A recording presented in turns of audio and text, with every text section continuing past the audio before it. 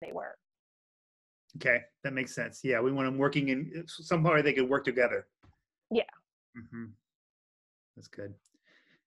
Okay, so one one thing that does anyone else have a point? Because I, I want to say the one thing I have learned again from the same person. What I have learned a couple of really great things from educators.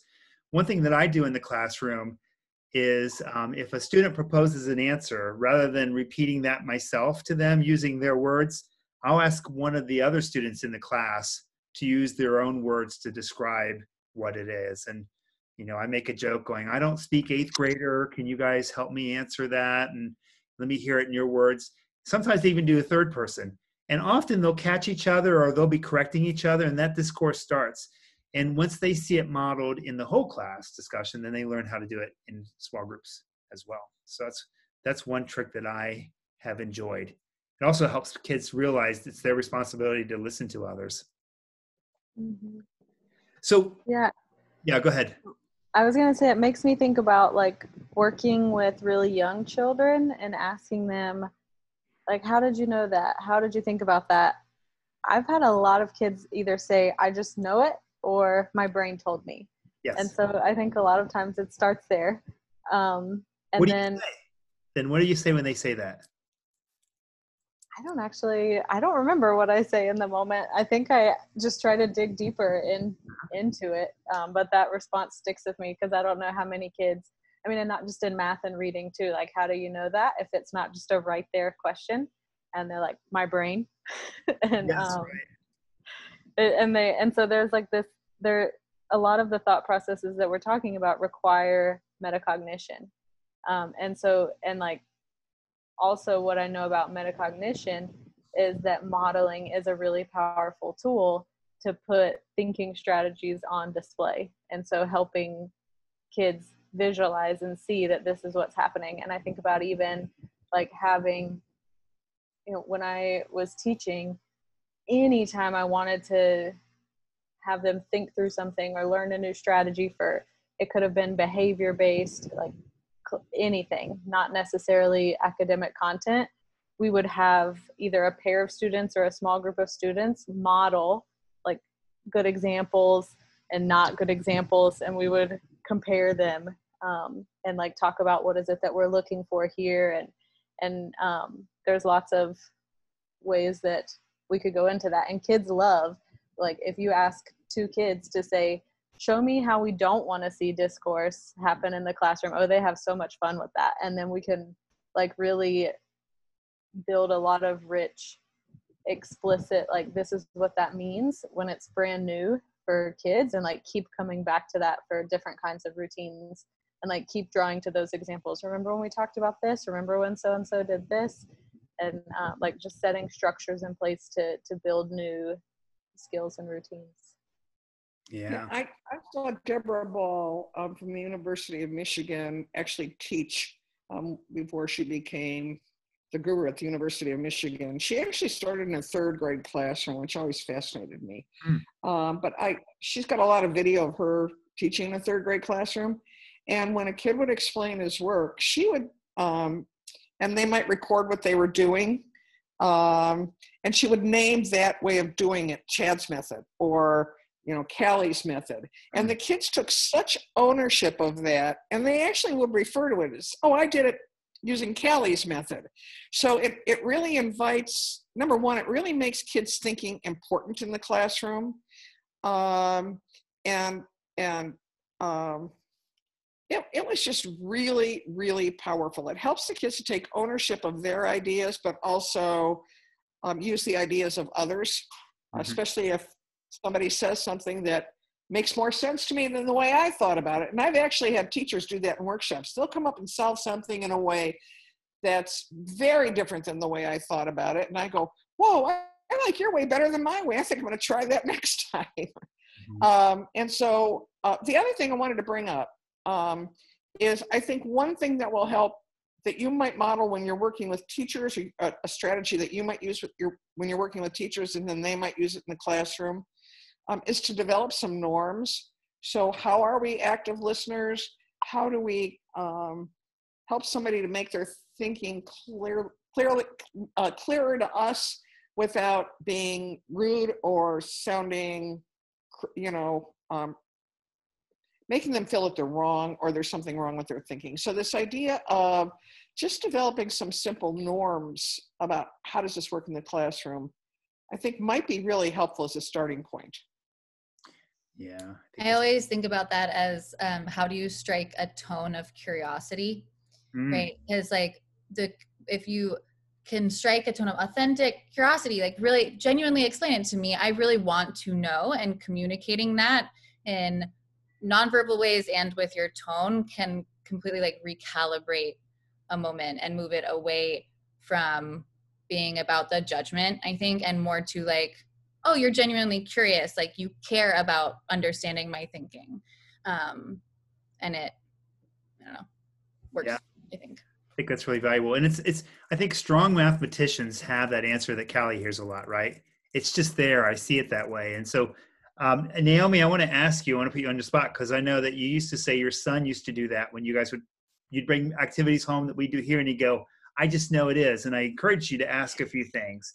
Tell me what, if that's been successful. I'm, I'm making myself nervous too because she may have said it was a bust. Um, no, and actually, the most recent example um, I know I told Pow is we were working on the Fibonacci sequence, and I was writing down the first few numbers for him and I gave it to him and I said, "Okay, here, can you figure out a pattern and what comes next?" And then he said, I forget the order, I forget what I did, but he said, "Well, I was to say 8, but that's not that's not right." And I said, "Why?" And he said, "Oh, but I was to say you had to add the previous two in order to get the next one, but you didn't write a five down. So that can't be the right one. And I said, Oh no, I forgot. Like it was my mistake. I just wrote it wrong because that was me. And then he went back and he explained, Oh no, well, that can't be it. Otherwise, there would be a five there. And then you could do this, this, and this. Mm-hmm. Yeah. So when you're pushing them to to justify their thinking, right? And that's the other role, right? The listener's job is to be able to say, "I see your thinking," right? Or say, because I've had kids go, "It just is." I mean, I could tell. And frankly, I said it myself when I was a kid. But the the Joel, uh, like great mathematicians find patterns, and then they figure out what those patterns mean. And that's so much what mathematics is. And so if you leave going, "Huh, that was interesting," but don't understand why, well, you're not being the mathematician that we need you to be. Um, and that happens at all levels. So that's one thing. The I other, love what you just. Go ahead, Linda. I love what you said because um, I always worry about, um, and maybe I over worry, that if a kid's going to see something that's done incorrectly, um, even if you show, you know, um, those are the things they tend to remember. Let me just put it like that. Mm-hmm. But I love the way that you just talked about that because um, your son actually challenged his own thinking based on what you did and was almost put in a position where he had to justify his thinking, even though he thought he was wrong because it didn't match your thinking.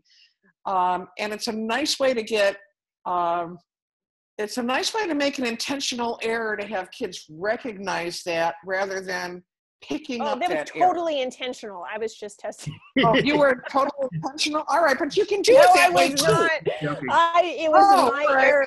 I forgot. Gullible lamb. no, he called uh, me. Linda's great. I worry about showing kids the way somebody did something wrong, especially young ones. Right. But on the other hand, if somebody makes a mistake and somebody else is well, I'm a, my thinking might, might have been wrong because, and I think that all gets unveiled. I think that's one of the powers of discourse is that conversation really actually helps the kids to um, organize the thinking in their head so that if they have some misconceptions, they can start to think about why that doesn't work that way rather than um, oh, well, so and so did this, and um, I must be thinking wrong. So the conversation actually gets them to come to some kind of consensus about what's going on here. Um, there needs I, to be. I just think that's so powerful. Yeah, I'm hearing um, the importance of the safe space, right? And that the role of the teacher isn't to get you to say the right answer, but to make your thinking visible, this thing that we talk about all the time, right? And so if you're in my class, it's it's just me getting what I know out there and then having you all, my colleagues, my safe friends, critical friends, helping me make sense of that, and then vice versa. So. And then the classroom becomes a learning community mm-hmm. and not just everything for themselves. Um, I, I don't want to, uh, we're going to talk about the rubric in just a minute, but I don't want to lose sight since Peg was one of our guest speakers, Peg Smith. Um, on page 30, they talk about the five, uh, Peg actually wrote the book, The Five Practices for Effectively Using Student Responses in whole class discussions. And what I love about those five practices is they really are a guideline for what the teacher is doing throughout the lesson.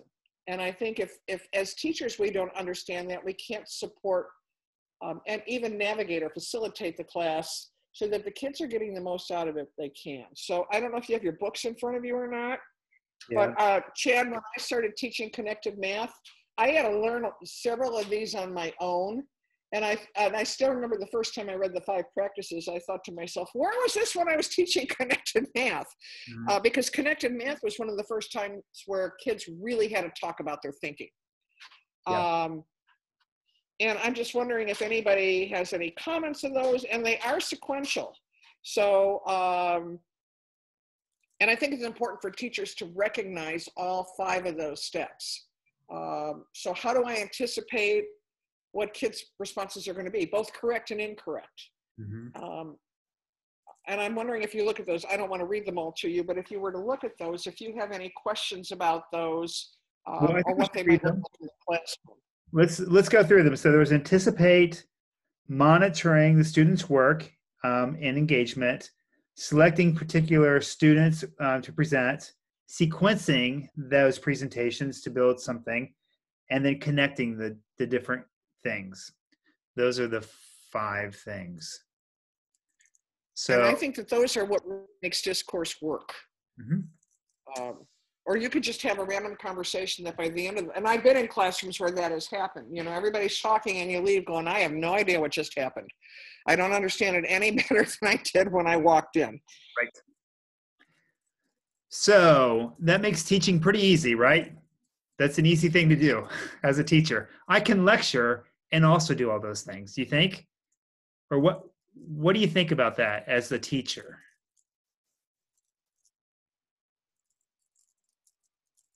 Well, for, you let, have me, to... let me.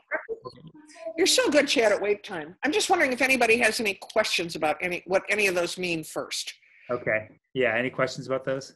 I do have. So all of them make a lot of sense to me, and like in fact, Fatima and I talked a lot about it today. So like I'll share when that becomes appropriate, if that becomes appropriate in the conversation. But um, in terms of like sequencing, I understand what it means, but I would also like to have an example of like what um because like I think we pull student work all the time for them to like explain it and that kind of thing. But I'm wondering like if one of you guys could talk more about what that means? Like how do you do that? How do you know what thing is going to come first or or like in that sequence? So i let me address it and i'm going to address it with a really specific example. Um so even getting kids to talk about their if you're giving kids a rich task and expecting them to talk about their thinking it might be difficult for them. But one of my favorite tasks um, with fourth graders when they're first learning multiplying a two digit number times a one digit number, and they've, you know, they kind of know their facts, they understand the meaning of multiplication, is to give them an example like 27 times four and ask them to think about two ways they might solve that problem and be ready to explain your thinking. Um, and so you're walking around the room. So the teacher has to walk around the room and see what kids in groups are doing. Um, and I love the idea of, at the very minimum of having them work with a partner. So there's even some discussion going on as they're thinking about the initial task before they share with the entire class. But the teacher's walking around monitoring and seeing what different groups are doing. And as she's doing that, she's kind of picking, because not everybody's going to get to share. So she's picking the ones that she would like, she's choosing the methods or the strategies that she would like the whole class to see. And so one student uh, um, decides they're going to add 27 four times. And another kid says they're going to add four 27 times. uh, both are correct strategies. Another student remembers, he says, I'm going to do 20 times four and then seven times four. So that kid's really getting an under, starting an understanding of the distributive property. Um, she sees some other kid write down that 25 times four is 100 and two times four is eight. And some other kid has figured out, or their parents have shown them how to regroup. Um, and there's usually at least one in the class whose parents has said, there's an easier way to do that. Why are you going through all that? So some kid comes in knowing that. So the teacher has to decide which of those strategies she wants shared.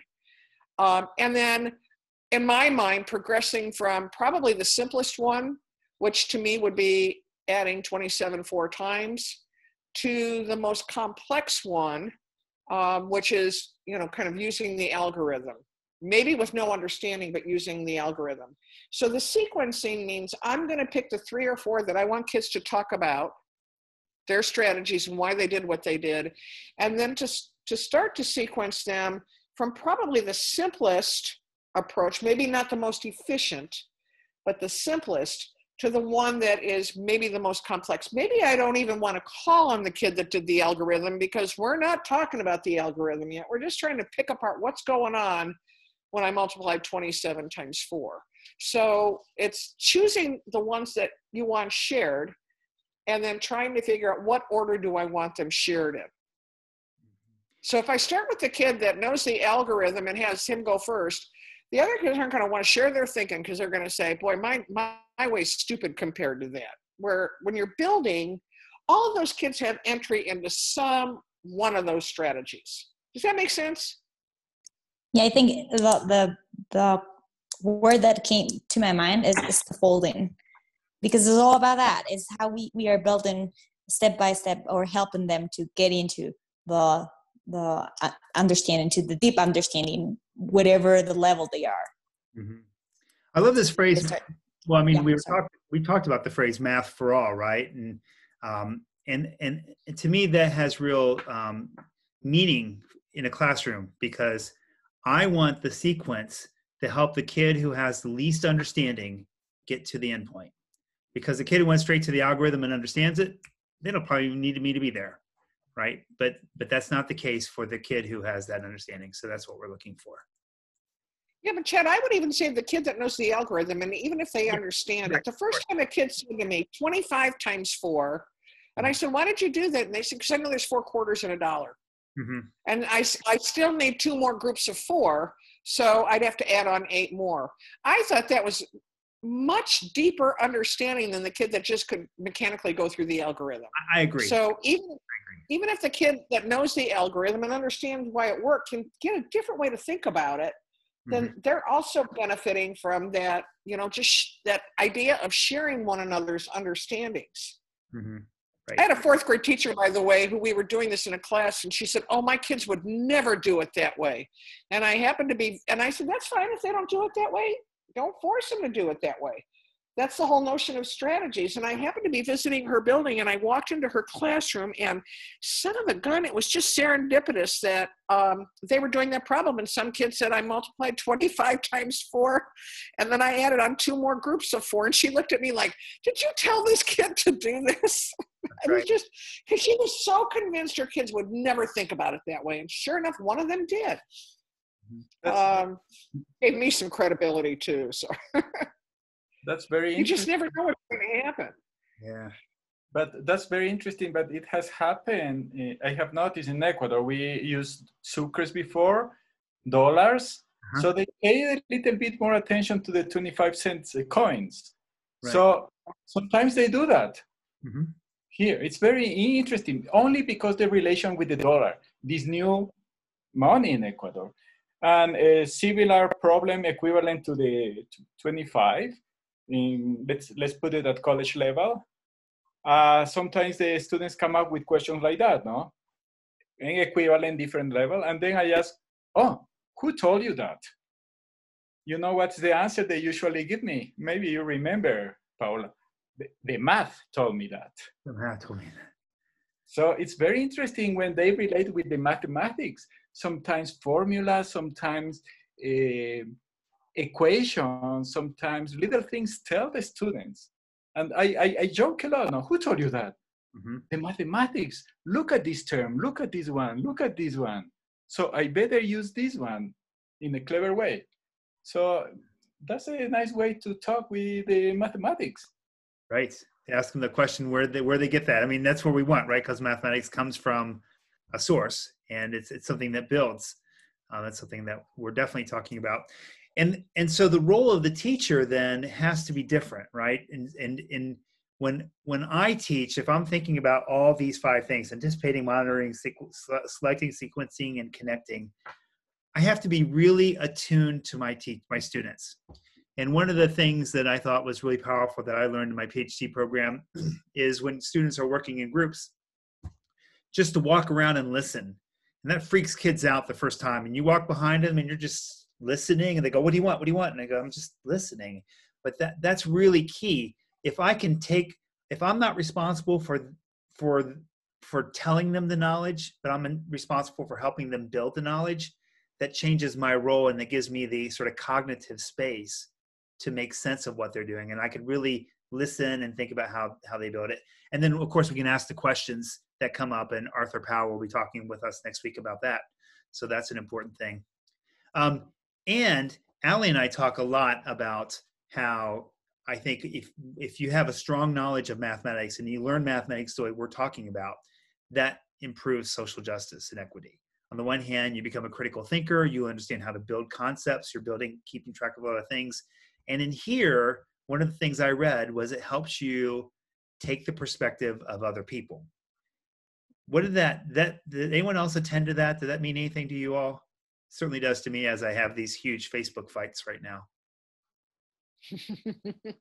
I love that question you wrote when you you ask to connect social and emotional learning to the to the discourse because uh, it's all about communication as uh, as Linda said. So if we learn to communicate well, even if it's right written or it's uh, verbal, then we learn to respect others and to cri- to critical thinking, uh, critical to criticize the other thoughts, but in a respectful way. And also, uh, something that ha- does not happen with the traditional classes is also to express themselves. Kids don't know how to express themselves, so that's all about social emotional learning so mm-hmm. they know how to to express and they are they feel that they are um, it's okay to express their thoughts then they are building this uh, they are developing their social and emotional uh, skills mm-hmm. i think that's so powerful and is there a place for that in ecuadorian and guatemalan culture with the students i mean i think it, it earlier in the conversation somebody said something about how there's like discourse that happens outside of the math classroom but i actually i can't speak to ecuador but i actually um, have discussed fatima and i have discussed this on various occasions too um, just how i don't think that's necessarily the case culturally with a lot of at least a lot of like the teachers and students that we work with just because um, it is very much like an like authoritative culture of like don't question like even between parents and kids and things like that like can definitely be more of a like you do it because I told you to, or you know, like don't. And so I think that what Pau was saying about that, like how do you express yourself, or how that is such like a learned thing that you learn in and out of the classroom. I I don't. I guess I wouldn't assume that that happens for most of the kids or teachers that we work with here and i think that's also why it can be such like a, a challenge because it's totally new and you're doing something that you're not supposed you don't question it don't question anything any authority any and if a teacher's seen as an authority figure then it's kind of like wrapped up in that um so i guess yeah i guess i just i think it's like an entirely new skill set that a lot mm-hmm. of people are learning as adults too right which is really hard um, if you've spent most of your life not doing those things and following a certain set of rules and now it's like oh you can actually do this other thing it's really hard. Um, so i think that socio socio-emotional part is huge and it's definitely something that we can't assume is happening in other spaces right? So is it too jingoistic? Is it too like oh i'm go us for me to assume that that's an important characteristic in other parts of the world? Because I think that that gives that helps local people feel empowered. So that when outsiders come in and say oh we have to solve the problems this way you could say look i've been here and i here think of it this way. But but maybe i'm wrong because that's me taking the american united statesian perspective. What do you all think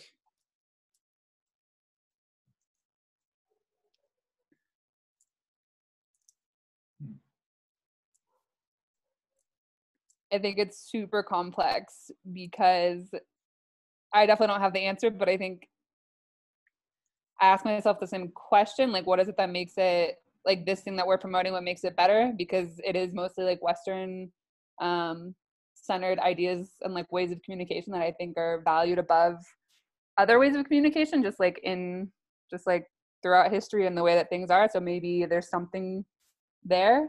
Um, but it's super complex. I don't know. I would love to hear any thoughts anyone else has about it because I don't I don't know. I'm like I have the same question, Chad, for sure. Actually, college students it takes some time for them to uh, what was the right word to say to free themselves of these overpowering system they've been studying through you know mm-hmm. and it takes some time and and actually, I have seen a.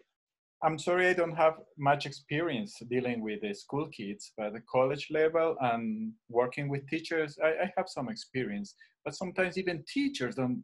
They don't want to leave these eh, eh, how do you say restrained framework of way of thinking no mm-hmm. and one of the I, know some of you being galapagos i really had a hard time there mm-hmm. you know? And because the i can give you a mathematical example no?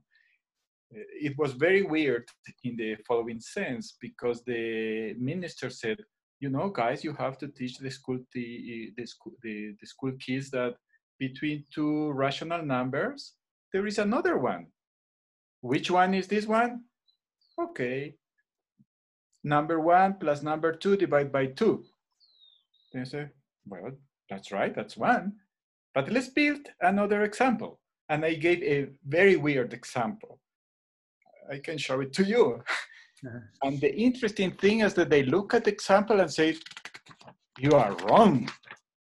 I say, well, I could be wrong, but hopefully I am not. And, and actually, the example I, I think I have told you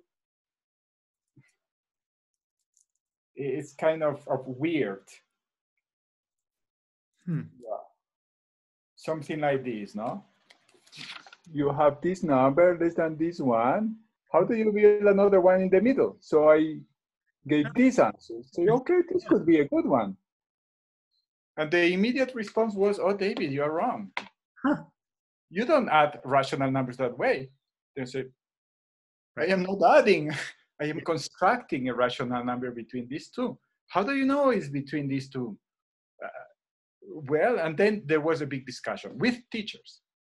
So they had the they felt comfortable saying you were wrong. That's something. And i'm actually wondering if this idea that it's sort of the top down patriarchal is actually colonial and it comes from ancient europe because um, i feel like in native communities indigenous communities it's much more you know sort of working as a, a cooperative you know, Chad, I'm thinking about when we were in the Galapagos. Remember, I worked with the primary teachers. Um, they were so open to new ideas and new ways of thinking about things. And if we can start that at the primary level and build, mm-hmm. um, and just again, just it doesn't necessarily start by, well, we, I hope we can get into talking about this rubric in a minute because that might actually address it. Yeah. But I, I, will tell you just from personal experience, I, my first 12 years of education were Catholic schools, very traditional Catholic schools. And we never questioned a teacher. Never. I mean, it just wasn't acceptable. When I got to college, it was really hard for me to think about, I'm allowed to question this person. You know, they, I mean, everybody had poured all the information into me that I needed, and I was a good little girl and did as I was told. Um, and I just think about what we're doing with students now and how much um, even from a mathematical perspective, if our goal is not necessarily around quote questioning authority, but we can approach it as building deeper mathematical understanding by talking about our thinking, then if people are uncomfortable with that notion of we're teaching them to question authority, that's really not what we're doing. We're actually teaching them to talk about their ideas and their thinking. Um, and mathematics doesn't necessarily have to get political or anything else. I mean, I think mathematics leaves a really nice context for having these kind of conversations. Mm-hmm. Yeah. I never thought about that question. It's such a good question. Yeah, Callie. Um, well, I was thinking like linking it back to goals is something that I have leaned on because I agree with Alex in a lot of sense where culturally like even with some of my friends in Latin America if they think that what you're saying is challenging them in any kind of way they won't even respond to a question anymore. Mm. like and and there it's like well no my mom taught me like when she asks you a question and the tone changes you don't say a word. Like and i and i'm sitting here thinking like why aren't you answering me? I'm like trying to figure this out you know and like my frustration rises in those moments sometimes and um so i think it's kind of a mix and um but even in working with teachers and also in communicating with parents being able to talk about like what what is it that you want for for the kids for the students? Like why are you a teacher? Why do you like this? You know what why do you choose this this job? Um if if you made the choice to be here and if this is what you want like why are you here? Or why are you sending your girl to girl stem club? Like why are you interested in that? And almost creating a little bit of cognitive dissonance in like this is the the future that you're telling me about. Maybe it's not very concrete you know maybe you you're telling me though that you believe that your girl your daughter has is capable and you want her to have more opportunities but then when you challenge and say well she shouldn't be thinking about things in both ways and then there's this well wait a minute didn't you say like what you wanted her to have more possibilities? And even in where we talked about the like levels of mathematical thinking and uh, in a previous role i used a lot of like webb's depth of knowledge. It's very similar to those levels of mathematical thinking but just for a broader range of of context or content. And um, one of the things that i've had teachers do is talk about like looking at the skills of like what kinds of jobs do you need to be able to just like repeat something to just apply something and what kind of jobs do you need like strategic thinking or reasoning for? And so they make a list and then um, because what we got a lot of pushback from in our school in north carolina when we were like okay our kids are really getting stuck at these dok level two questions and threes and fours they're not doing so well on end of grade tests and all in benchmarks and all of these assessments. And the teachers were like well why? Like if they can follow the formula and get an answer why do they need to go further than that? And so we really had to to mm. stop and look at it like well what is it that we want for our kids? And which you know which level of thinking are we working in with them? So what are we creating what are we setting them up to be?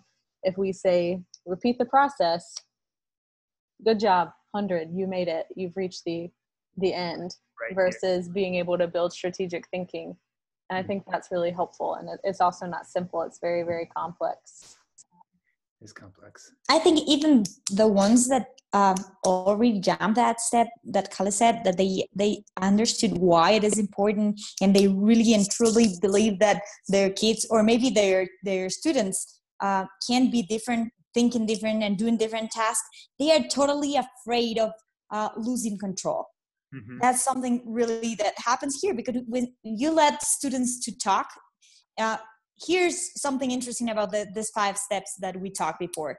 Uh, anticipate is really great and let them um, breathe a little bit to to know what could the student uh, think before going into the, the field. But uh, even you think in a, or try to anticipate uh, the, the possible solutions and the possible way of thinking, you may be you might find find yourself in a and an interesting moment with where where students will think uh, differently from what you thought. So that I think that's one of the the things that uh, teachers are most afraid of because they think they will lose control. It's all about control, and uh, control is all about afraid of being wrong. And that's something we have to deal with with them. So it's okay to be wrong. That's is even a, a, great opportunity to your students to see you're wrong and to see that you can both together build something and try to figure out things together. So that's i think that that's one of the greatest or, or the hardest part here when we are trying to work with teachers. Right. So, yeah. That's a wonderful segue. I'm watching the time to take a look at you, that. Linda. I was going to move into that too. So good. I, I want to connect that to what Paolo was just saying, and um, that is you don't go. I think the teachers need to understand you don't go into a classroom and expect kids to be able to talk about, or you just set them free to talk about. And you, you know, there are really steps to doing this, and there are certain times when, you know, you want you need to be more in control, and there are other times when you want the kids to be more in control, and, and learning how to do that. Um, and when to do that, I think that that rubric sets that up nicely. So if we could take a look at the rubric, mm-hmm. and if um, I did this with a group of elementary teachers, um, actually several times because it was a different group, but um, I, I want to explain the chart to you just a little bit or point a couple of things out. But and I will also tell you I'm going to save the big surprise for now. Um, we actually by the time we got finished with this rubric we I, the teachers actually developed one that they liked better and i thought was actually stronger than this one. So uh, this is not carved in stone. It's not exactly what you have to do. But what i love about this rubric is um, you don't have to try to take on everything at one time. So you might start with what is the teacher role uh, in discourse or what kind of questions what kind of questions are happening when you're really um, focusing on mathematical discourse or how do we get kids to explain their mathematical thinking? Um, what are the mathematical representations you use? And when you actually think about those different columns many of them are directly related to the effective teaching practices. So just to, kind of facilitate the conversation here or the discourse um, i'd like you to uh, we did this by column so our time is limited. I don't think we can um, well, I don't know if you prefer to do it by column or if you want to look across the whole row of level zero, then level one, then level two. Um, what do you think? Or um, I think it's I think it's good to go by columns, maybe. Personally. I, I actually do too, but we may run out of time. But at least it yeah, gives so. us some initial conversation. Mm-hmm. So um, if you if you guys would take a look at the role of the teacher on each one of the levels, and think about the progression that that takes and how you might help teachers to where do you think your teachers are functioning right now? And how do you think those levels might help them to actually build their comfort with having more discourse in the classroom? So let's just take a, a moment to look at that column. Does everyone have that handy I am looking for. What I will do is, hold on, I think I can share it with you all. I'll share my screen in a second if I can get this to the right size. Uh, oops, that's not. Uh, all right, I'll share my screen and you guys can see this then. Just make sure I don't. Okay. All right, so hopefully you all can see this column we're looking at right now. Нет.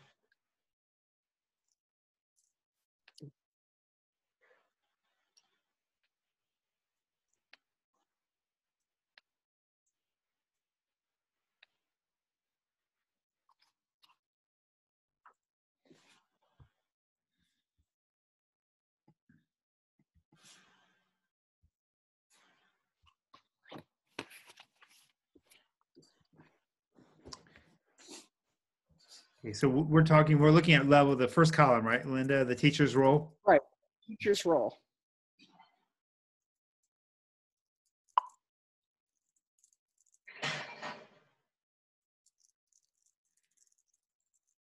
I see a lot of teachers between zero and one.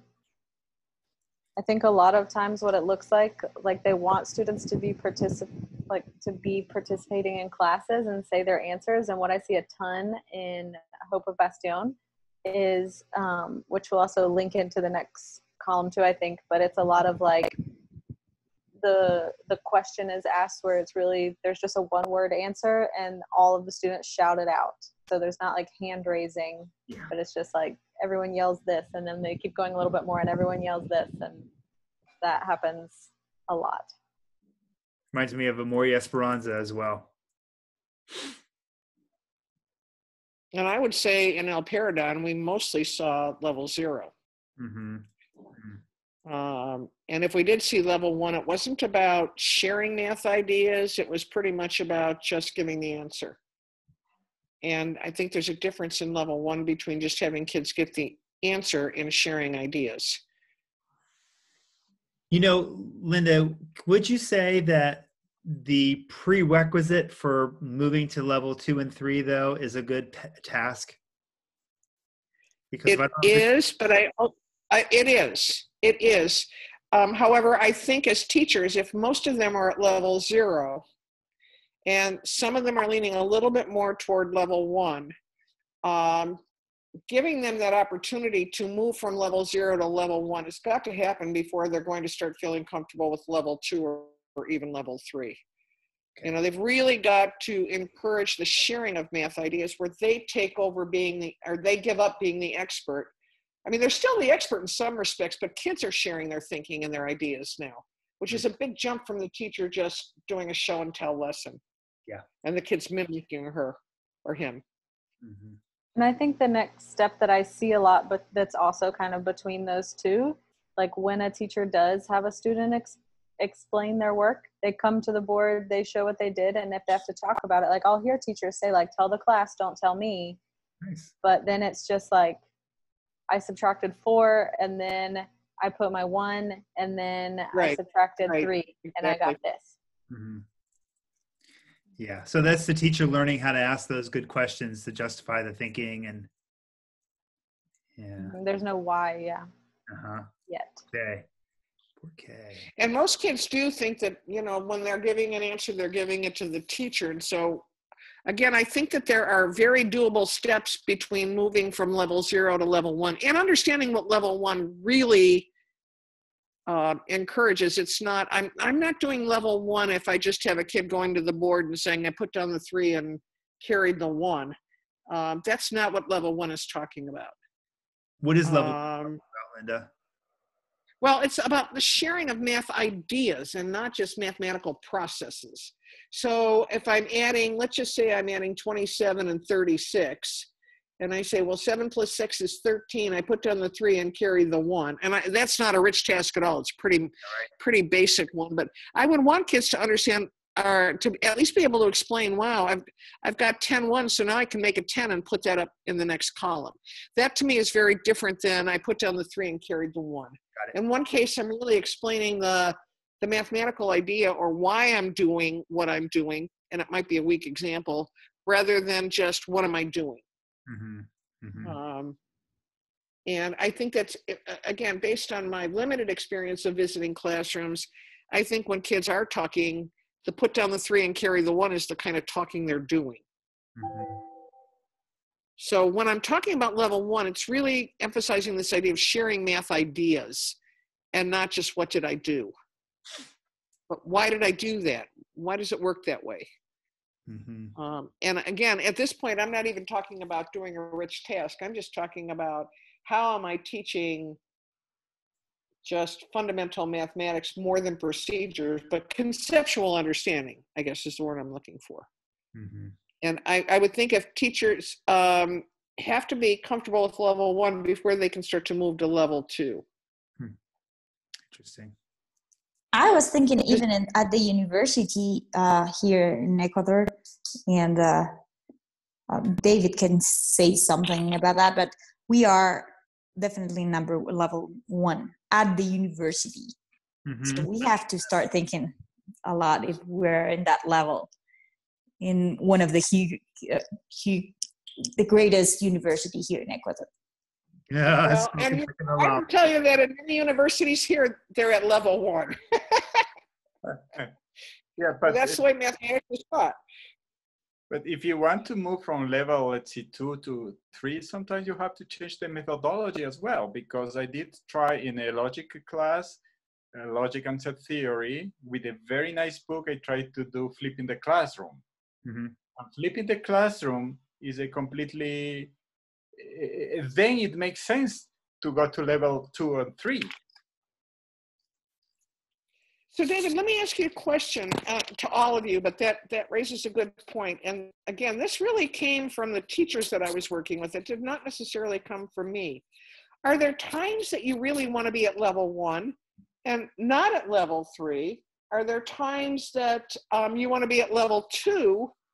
I mean, how, uh, do you think you always want to be at level three when you're teaching? Um, and again, I'm going to go to young children um, is is that someplace you you want to strive for all the time I don't think so, from my perspective. and why is that because there are difficult mathematical ideas. Even though the students could read beforehand, you have to present good images of the concept. So sometimes there are the, the mathematical ideas tells you wh- what will be a little bit your role from my perspective.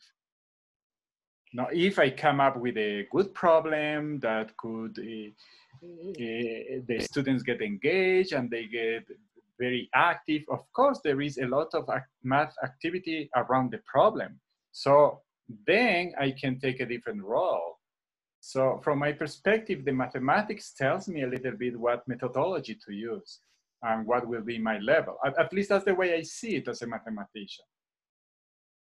Yeah, I would, I would, um, I would, I would say there are two components to that. Um, so, like the research shows, at the highest levels of math, you sort of really the the kids are doing the level two and three on their own. You know, like if you're teaching a a, a real analysis class, you know, like proving, well, that's a different story. So, um, but but you know, with the you know what I love is is like thinking about my classroom as flipped in the sense that I give the students the time to talk to each other, work together in the classroom, and then I push them harder afterwards to do more challenging problems rather than to read new material to reflect on what they're learning. And um, I, I, think in those cases, that's appropriate, again, if you have a great task.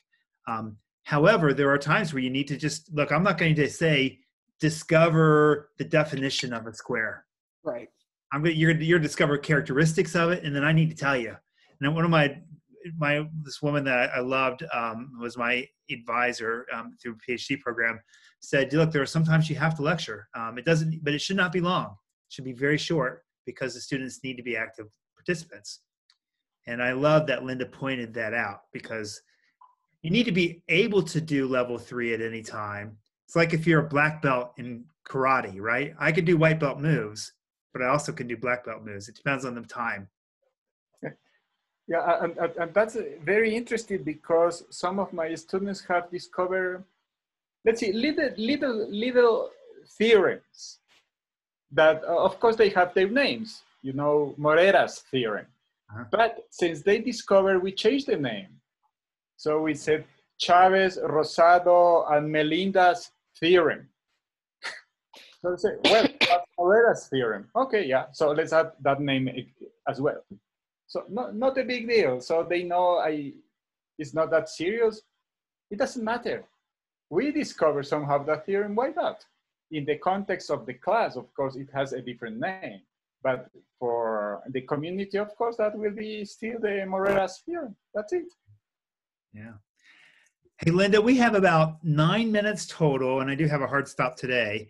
Um, and I want yeah. a little time for talking. And one thing we could always do is work our way through the book and then come back and rebuild this ourselves that might be interesting. And I don't actually what I was thinking of um, since next week Arthur's or next time we meet, Arthur's talking about posting pur- purposeful questions. Yes. Maybe we can come back and revisit this rubric on um, questioning after you know after we've had some conversation around questioning. And I would encourage all of you to look at mathematical representations because we have talked about that. And so, what does this look like? Um, when I want kids to represent their thinking in different ways and the ways that make the most sense to them. So um, I wanted to use this as a guidepost. I also want to share with you that the teachers I was working with, um, when they got down to level three going across, so I'm to give you like 30 seconds to speed read across level three.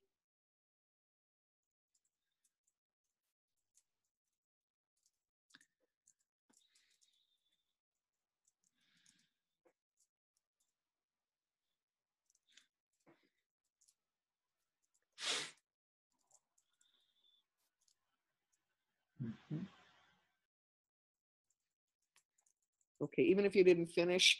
I just want to share with you how one of those teachers um, described level three.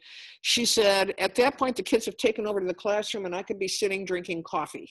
Um, and, and I like that because actually, if you read level three, the kids really have taken over ownership for their learning. But that doesn't happen right away, and kids can't do that all the time. So, level three um, is where I might want to be sometimes, but it might not be where I want to be. Definitely isn't where I want to be all the time. Uh, kids oftentimes don't have enough knowledge to be able to handle. This is our opinion.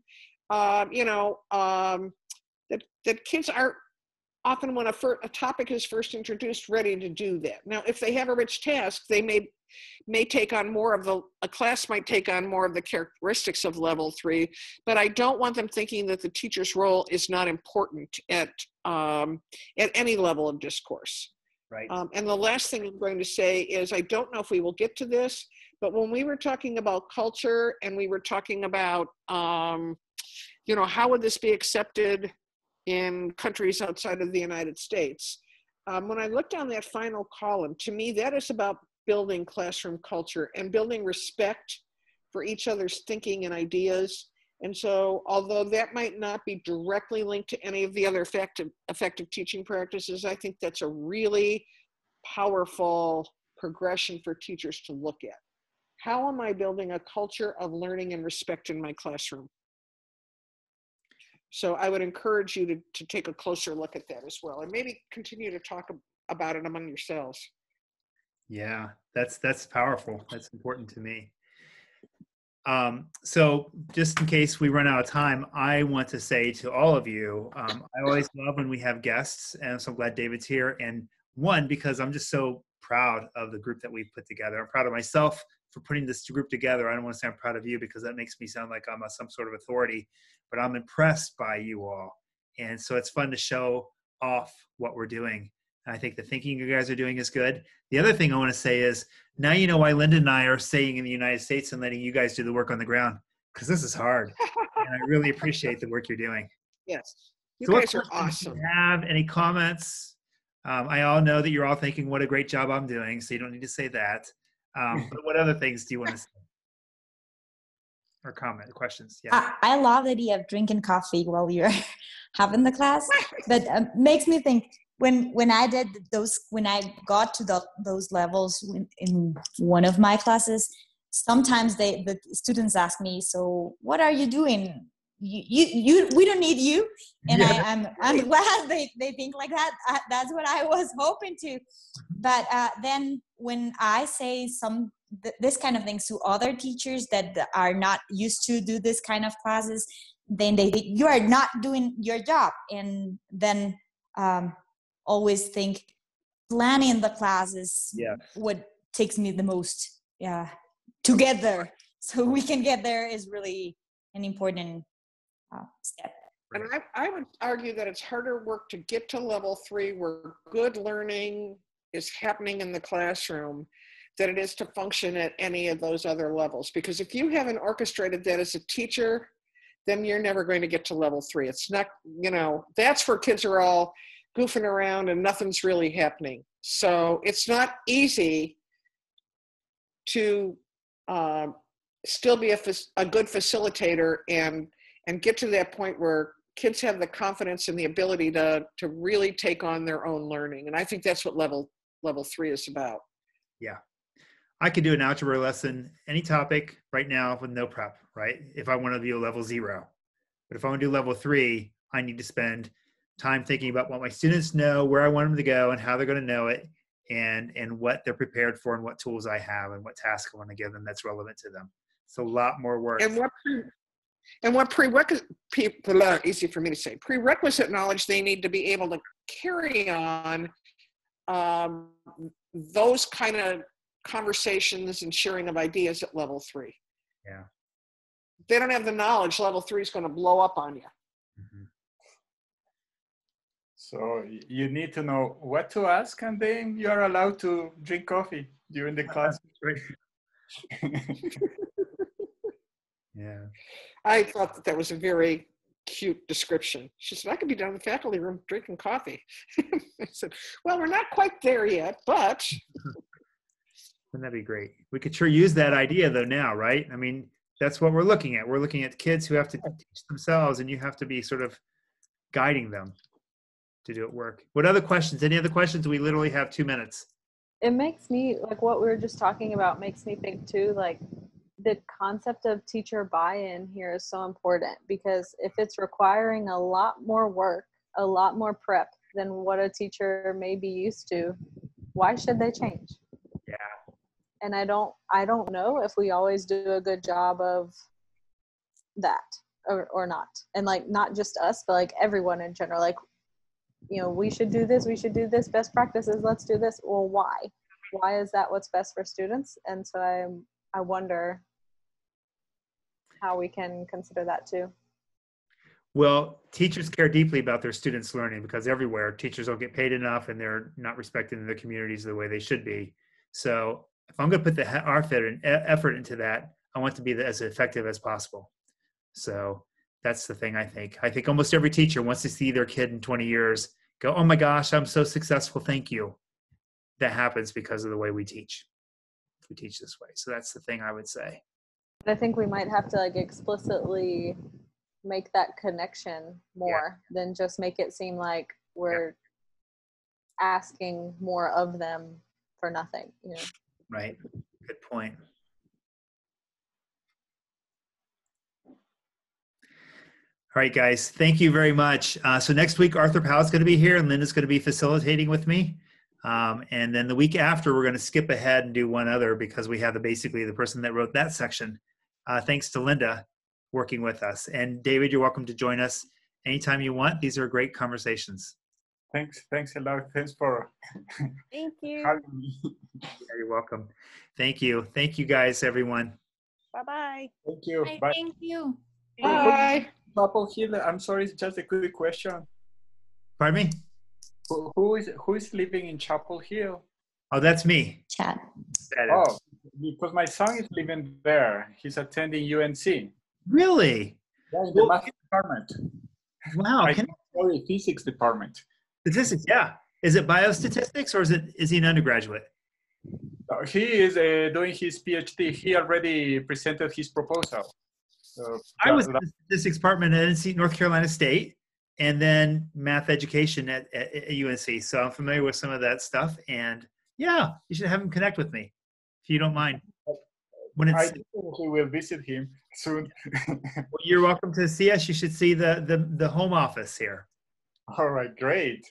All right. See you guys. See you. Bye. See you. Bye. Thanks, everyone.